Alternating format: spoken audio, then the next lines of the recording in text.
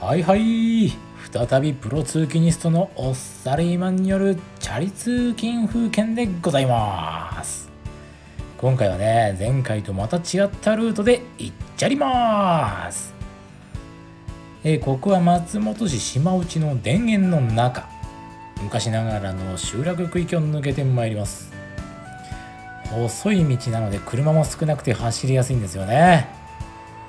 この辺りは小宮になるのかな、え、いつも通っているメインの道路の一本裏手。なんかいいでしょ？この辺り雰囲気が。好きなんですよこの辺りの道がね。これはまた今日はいい天気だ。梅雨の晴れ間のいい天気。うんこういうのが何て言うの？何て言うの？何て言うんだろう。よくわかんないけど。なんて言うんだろう。いいよね。あそうそう。垣根だ。垣根、うん、垣根って言葉が今出てこなかった、うん、ああいう垣根がある集落。いいよね。昔ながらの感じで。はい。ちょっとスピードアップしてまいりましょう。で、えー、この辺りが朝鮮学校とか千曲高校などがあるあたりですかね。の顔はいいんだよ。何やってんだよ。あ後ろのまた山がいいじゃないですか。雲が垂れ込めてて。雰囲気があるよね。爽やかな信州の。いやお前の顔はいいんだよ。はいスピードアップしてまいりましょう。一直線。バビャーおい。で、えー、ここでですね高速長野道にぶち当たります。ブチッと。んでもってその下をくぐりのはい再び高速沿いに南下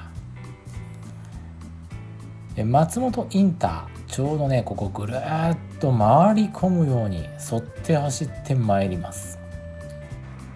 わかる？ちょうどほらインターのぐるーって丸くなってるじゃないですか。あれに沿ってこう丸くなほらほらこういう感じでおい料金所のとこね。えこの辺りは、えー、車では通り抜けできません。あここはできる。ここは右に行けばできるんだけどここまっすぐはできませんよほら。えちょうどインターの出口の脇に出ます。はい。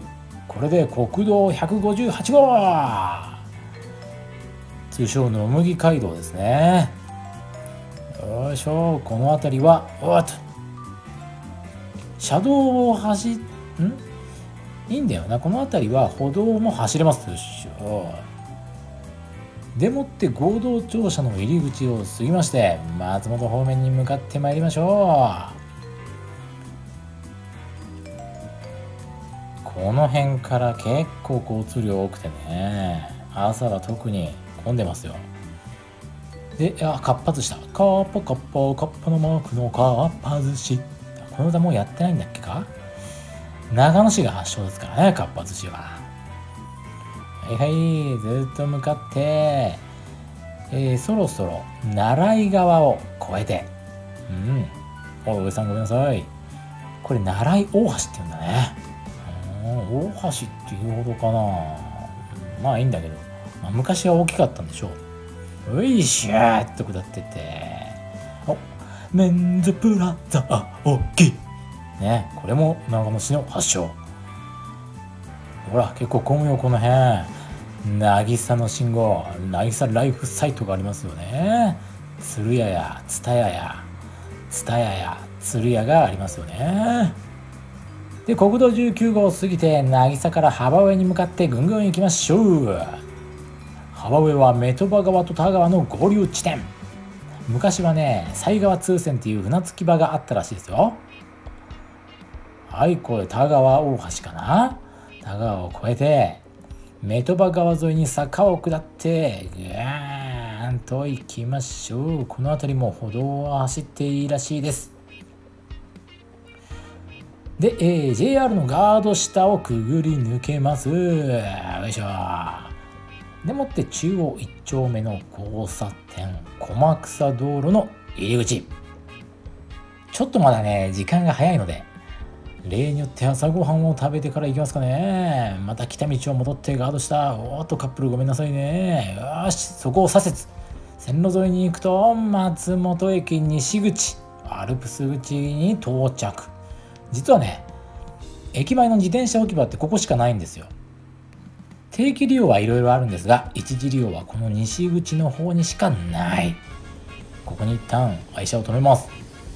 でもってアルプス口から階段をトントントンと上がってあちょうどこれ左に上越線がありますねオレンジの。駅のコンコースを通ってお城口に出ます。その駅の1階にあるのが前にも紹介しましたが呉木の駅舎店さん。朝から生ビールのモーニングサービスがあるんです。まさすがに今日は飲めませんけどね。今回はお得なモーニングメニュー。月見そばといなり寿司をチョイス。はい。こちらはいわゆる駅そばではなく本格手打ちそば屋さん。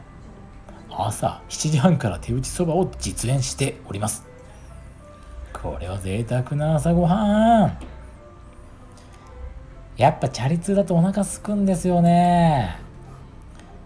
松本の水を使った美味しい本格手打ちお蕎麦。ああうめうめえなおいでもって卵をパカーンと。絡めの。君を時の絡めの。あいすすりの。でナイスそばナイスそばいなり寿司でもってそばとのマリアージュくこいつ朝からめでてやいやー美味しかった。あごちそうさまです。お店の人も親切なんですよね。さあさあ再び駅を通ってアルプス口へ戻りましょう。天気もいい。で自転車を取りに行きますと駐車料金はいくらかな？ん？おっとさあいくらだ？およし30分以内だったので無料。よかった、ね、30分以内は無料なんです。でもってアルプス口から一旦西はい戻りましょう。西口のロータリーをパスして。左側通路こうですからね自転車は。はいはいこの辺なんかお焼き屋さんできてんな。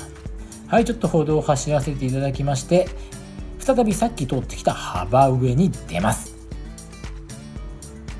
でこの歩行者用の橋かな？ここは押して渡りますか。はいですぐに渡って。今度はメトバ川の北側の細い道を入っていきます。ここはね車通れませんからね。知る人ぞ知る歩行者と自転車のための道。はい頭打ちそうなガード下をくぐり抜ける。気をつけて。怪我したら怪我なくなっちゃうよ。藤原商店とかあるね。いいお店ですよあそこもでもってメトバ橋のたもとに出てキラリの近くかな。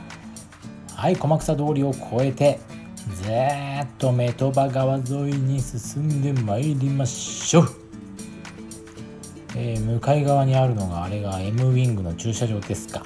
ってことは、えー、そろそろバーガーチョップとかタコ三郎さんとかあるあたり。うんそして松本中央通りを越えて。この辺りはロック。昔54頭の馬屋があったことからロックと呼ばれているそうです。さあ千歳橋。82銀行の信号を渡ったら慌て通りですが今回は八柱神社の中を抜けていきましょう。ここはゆっくり。もしくは押して通った方がいいよね。朝の神社ってなんだか心が洗われます。はい。パワースポットで。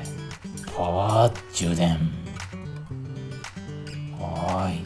校舎さんすいません。さあさあ緑町に来ました。でもってでもって今回はうんとこっち。う縄手横丁を抜けていきましょう。この細い路地がね楽しいんですよ。鍵の字型に曲がって細い。有名なケーキ屋さん正村の脇に出ます。でもっておまだ行くんかい？